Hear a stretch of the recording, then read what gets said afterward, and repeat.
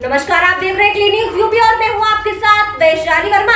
वक्त चला है उत्तर प्रदेश से जुड़ी 10 फटाफट बड़ी खबरों का इससे पहले आप न्यूज़ को किस ज़िले से देख रहे हैं, हमें कमेंट के माध्यम से ज़रूर बताएँ।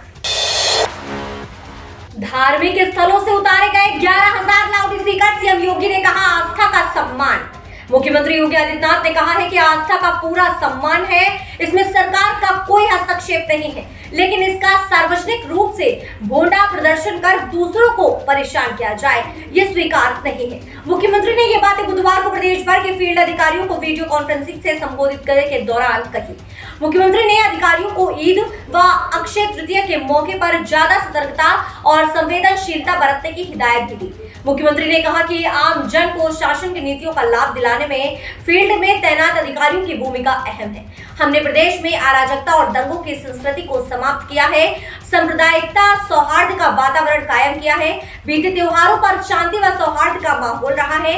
आने वाले त्योहारों को लेकर और अधिक सतर्कता व संवेदनशीलता की ज़रूरत है। मुख्यमंत्री ने कहा कि लोकतंत्र में संवाद का बड़ा महत्व है। दो दिवसीय दौरे पर आज आएँगे सीएम योगी आदित्यनाथ। इनकी योजनाओं का करेंगे निरीक्षण। दो दिवसीय दौरे पर मुख्यमंत्री योगी आदित्यनाथ बृहस्पतिवार की दोपहर तीन बजे गोरखपुर आएँगे। मुख्यमंत्री यहाँ सहजनवा नगर पंचायत के बाद पिपरा में निर्माणाधीन अटल आवासीय विद्यालय का निरीक्षण करेंगे। इसके बाद शहर के जेल बाईपास रोड के निर्माण कार्य का जायजा लेंगे। वहाँ से निकलकर गोरखनाथ मंदिर में रात्रि विश्राम के लिए पहुँचेंगे शुक्रवार के सुबह को जंतर दर्शन के बाद सीएम योगी आदित्यनाथ लखनऊ के लिए प्रस्थान करेंगे। हालाँकि अभी उनका प्रोटोकॉल नहीं जारी हुआ है। सीएम योगी आदित्यनाथ के आगमन और निरीक्षण कार्यक्रम की सूचना के बाद बुधवार की देर रात तक जिला प्रशासन तैयारियों में जुटा है।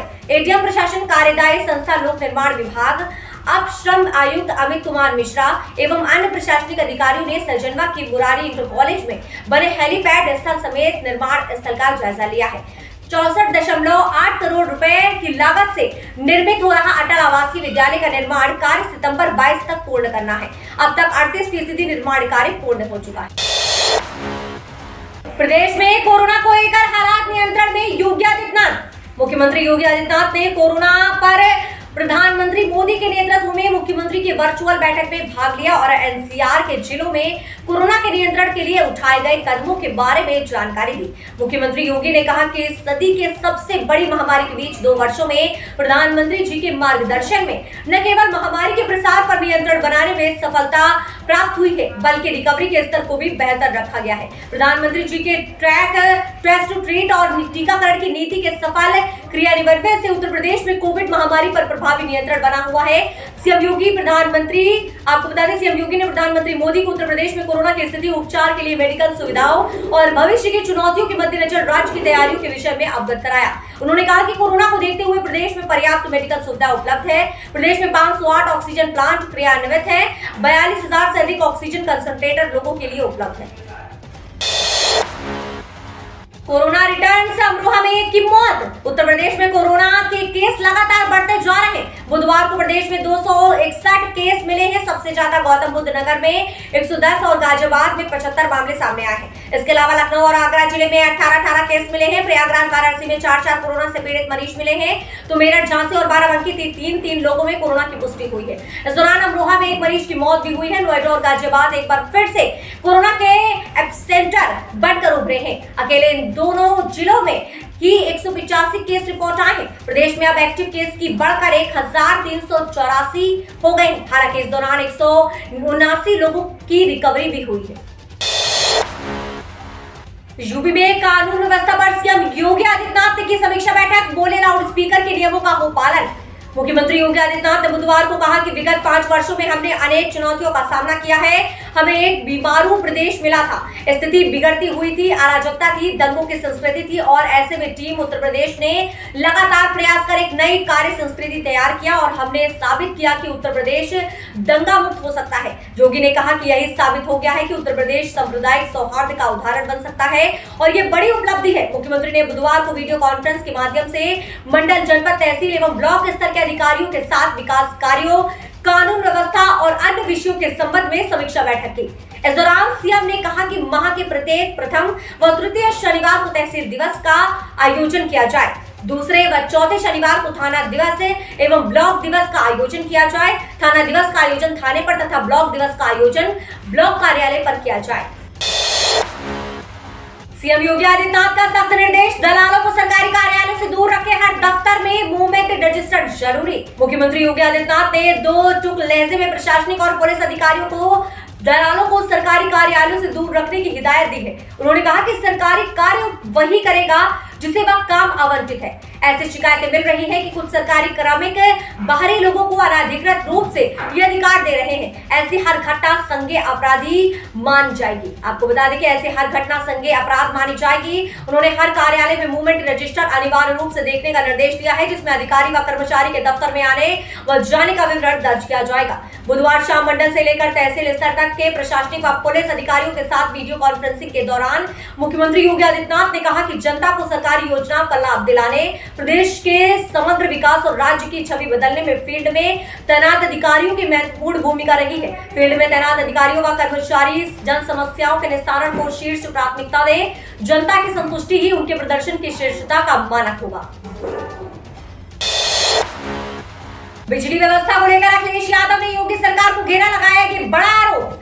समाजवादी पार्टी के अध्यक्ष अखिलेश यादव ने बुधवार को आरोप लगाया है कि उत्तर प्रदेश में आघोषित बिजली कटौती से हाहाकार मचा हुआ है। उन्होंने दावा किया है कि गर्मी बढ़ती जा रही है, लेकिन राज्य सरकार बिजली की पर्याप्तता व्यवस्था नहीं कर पा रही है। राज्य सरकार बिजली की पर्याप्त व्यवस्था नहीं कर पा रही है। उन्होंने कहा कि बीजेपी के दूसरे कार्यकाल में बिजली मंत्री बदल गए, लेकिन दुर्दशा नहीं बदली। यादव ने कहा कि सरकारी बयानों में ग्रामीण क्षेत्रों में 18 से 20 घंटे बिजली आपूर्ति का दावा किया जा रहा है, जबकि महज चार घंटे ही बिजली मिल रही है। कई स्थानों पर तो पूरी रात ब्लैकआउट रहता है। समाजवादी पार्टी द्वारा जारी बयान में यादव ने कहा कि बिजली कटौती से बुनकरों का धंधा बुरी तरह प्रभावित हो रहा है। उन्होंने दावा किया कि संत कबीर नगर में बिजली नहीं मिलने से बिजली चले हद घर के ठप हो जा रहे हैं। आपको बता दें कि इनसे बुनकर आर्थिक संकट से जूझ रहे हैं। वे आधे अधूरे तैयार कपड़ों को लेकर परेशान हैं। बिजली संकट के चलते व्यापारी गतिविधियाँ भी पूरी तरह से प्रभावित हो रही हैं। सिर्फ़ एक मुकदमे पर भी लग सकते हैं। यूपी गैंगस्टर एक्ट एससी ने इलाहाबाद एचसी के फैसले पर लगाई मोहर। सुप्रीम कोर्ट ने यूपी गैंगस्टर कानून पर बड़ा फैसला सुनाया है और ये साफ़ कर दिया है कि एक मामला होने पर भी गैंगस्टर एक्ट के तहत पुलिस कार्यवाही की जा सकती है। कोर्ट ने कहा है कि अगर कोई व्यक्ति किसी गैंग का सदस्य है और उस पर एक ही अपराध का आरोप है तो भी गैंगस्टर एक्ट के तहत कार्यवाही हो सकती है। सुप्रीम कोर्ट ने फैसले में स्पष्ट किया है कि इस एक्ट के तहत कार्यवाही का एकमात्र आधार किसी गैंग का सदस्य होना नहीं है।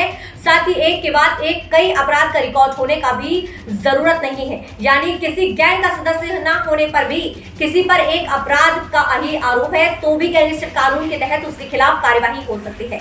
सुप्रीम कोर्ट में जस्टिस एम आर शाह और जस्टिस बीवी नगरातना की बेंच ने इस बड़े मामले में फैसला सुनाया और इलाहाबाद हाईकोर्ट के फैसले पर अपनी मंजूरी की मुहर लगा दी। सुप्रीम कोर्ट ने फैसले में कहा कि गैंग द्वारा किया गया अपराध भी गैंग के सदस्य पर गैंगस्टर एक्ट लागू करने के लिए काफ़ी है। आपको बता दें कि प्रदेश गैंगस्टर्स और असामाजिक गतिविधि अधिनियम के तहत पहली बार अपराध करने पर भी इसका इस्तेमाल अपराधी के खिलाफ किया जा सकता है। यूपी में गर्मी तोड़ रही रिकॉर्ड। मौसम विभाग ने जताई दो दिन बाद थोड़ी राहत की उम्मीद। उत्तर प्रदेश में तपेश और लू का असली सितम शुरू हो गया है। हालात यही है कि यूपी के शहरों में राजस्थान से भी ज़्यादा गर्मी पड़ रही है। ऐसा ही हाल बुधवार को रहा। जहाँ रिकॉर्ड किए गए दिन के अधिकतम तापमान के हिसाब से झांसी देश का सबसे गर्म स्थान रहा। झांसी में दिन का अधिकतम तापमान पैंतालीस दशमलव पाँच डिग्री सेल्सियस दर्ज किया गया है। वहीं मध्य प्रदेश का राजगढ़ देश में सबसे गर्म स्थान रहा, जहाँ दिन का अधिकतम तापमान पैंतालीस दशमलव छह डिग्री सेल्सियस दर्ज किया गया। झांसी में पड़ी गर्मी ने राजस्थान के शहरों को भी पीछे छोड़ दिया है। राजस्थान के बीकानेर में अधिकतम तापमान पैंतालीस डिग्री सेल्सियस, बाड़मेर में अधिकतम तापमान पैंतालीस डिग्री, जबकि जैसलमेर में अधिकतम तापमान चौवालीस डिग्री सेल्सियस दर्ज किया गया। जबकि झांसी में अधिकतम तापमान पैंतालीस डिग्री सेल्सियस दर्ज किया गया है। यूपी के ज़्यादातर शहरों का लगभग यही हाल रहा। राजधानी लखनऊ में बुधवार को दिन का अधिकतम तापमान तिरालीस डिग्री कानपुर का, चौवालीस दशमलव नौ डिग्री वाराणसी का, चौवालीस दशमलव चार डिग्री प्रयागराज का, पैंतालीस डिग्री सुल्तानपुर का, चौवालीस डिग्री और उरई का चौवालीस डिग्री सेल्सियस दर्ज किया गया। इस तरह झांसी, यूपी का सबसे गर्म स्थान रहा। पीएम मोदी आज असम में सात कैंसर अस्पतालों का करेंगे उद्घाटन, सात की रखेंगे आधारशिला। प्रधानमंत्री नरेंद्र मोदी 28 अप्रैल यानी आज असम के डिब्रूगढ़ पहुँचेंगे। वहाँ वे राज्य के सात नए कैंसर अस्पतालों का उद्घाटन करेंगे। साथ ही प्रदेश के सात नए कैंसर अस्पतालों की आधारशिला भी रखेंगे। प्रधानमंत्री कार्यालय के मुताबिक कार्यक्रम के दौरान पीएम मोदी शिक्षा क्षेत्र के विभिन्न परियोजनाओं का शुभारंभ भी करेंगे। प्रधानमंत्री नरेंद्र मोदी सुबह करीब ग्यारह बजे कार्बी अगलोंग ज़िले के दीफू में शांति, एकता और विकास रैली को संबोधित करेंगे और यहाँ पर सबसे पहले पार्टी की एक बैठक में हिस्सा लेंगे। प्रधानमंत्री मोदी पशु चिकित्सा महाविद्यालय, डिग्री कॉलेज और कृषि महाविद्यालय की आधारशिला भी रखेंगे।